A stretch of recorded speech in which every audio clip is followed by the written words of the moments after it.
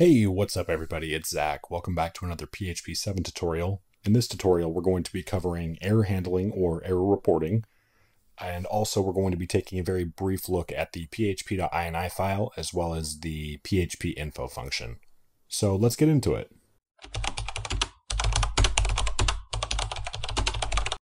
Okay, so we're going to start with the phpinfo function. Uh, if you're using a service like GoDaddy or HostGator, something like that, uh, typically speaking, by default, error reporting is going to be disabled. So if we were to purposely write some bad code, open and close our PHP tags, and we will type in echo and some gibberish without the semicolon, echo more gibberish, no semicolon, save that, and refresh our page, it's not giving us an error, it's just not loading. So another example here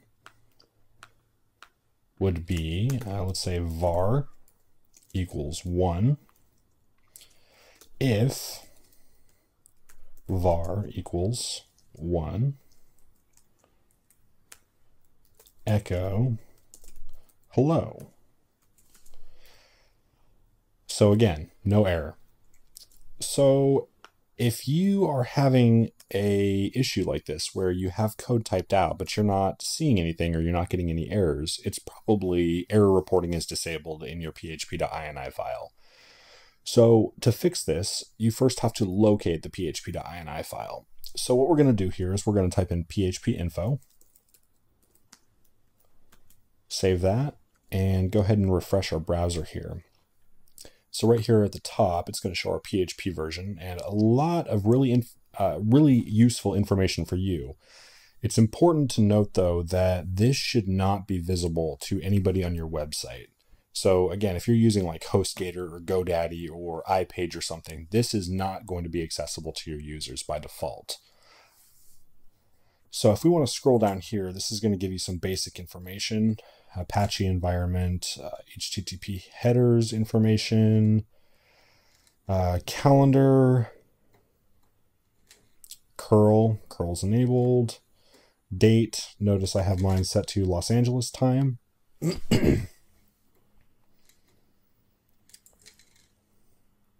file info, FTP, you get the idea. So what we're looking for here is our PHP file our php.ini file. So let's type in php.ini.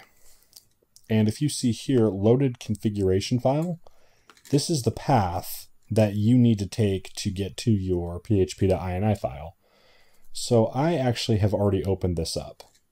So here is my php.ini file, and you want to be very careful with editing this. So phpinfo is going to give you the information on your current PHP configuration. The php.ini file is where you edit those, uh, those pieces of information. So in this specific tutorial, we're only going to be taking a look at error reporting. So we will type in, oh, it's right here. Perfect. Uh, so we would type in error reporting. And if you notice here, error reporting is set to zero. So now here are all of the different types of errors that PHP 7 will display. So in most cases, if you're on a local uh, local web server, it's good to just use e all. So what I will do is I will type in e underscore all. Now, if you wanted to do uh, a combination, if you didn't want to do e all, like let's say you wanted to get fatal runtime errors, you would do something like e underscore error and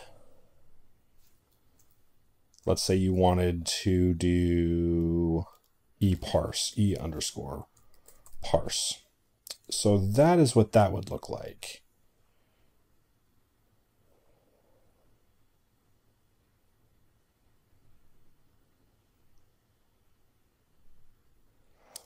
And also make sure display errors is set to on.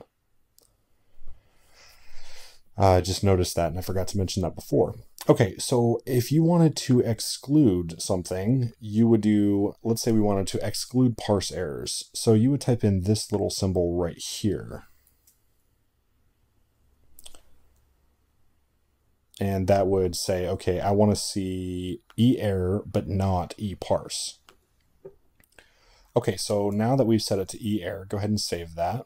and display errors is set to on. Now we'll go back into our tut.php. Uh, actually, you know what? First, let's restart our web server.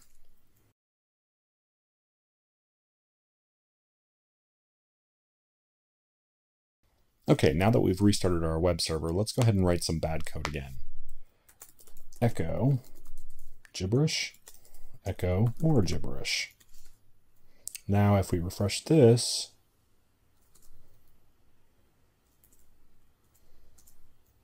hmm.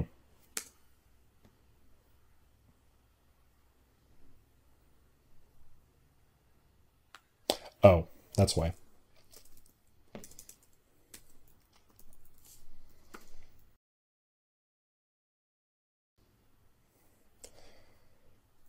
All right, guys, sorry about that. I made a mistake. I left it as e error instead of e all. Um, so what it should have displayed was a parse error, but because it was set to e error, it wasn't going to display that. So now I've changed it to say e all. So we save that, save the bad code, refresh. Now we have our parse error. So let's try it with another example. var, e var equals 1 if can't type tonight. Var equals 1 echo 1 refresh. Unexpected end of file. Perfect. So that's a very brief introduction into the php.ini file the phpinfo function and error reporting in php 7 if this tutorial helped you out, make sure to like, comment, share, subscribe. If you have any questions, make sure to leave them in the comments below, and I will catch you in the next tutorial.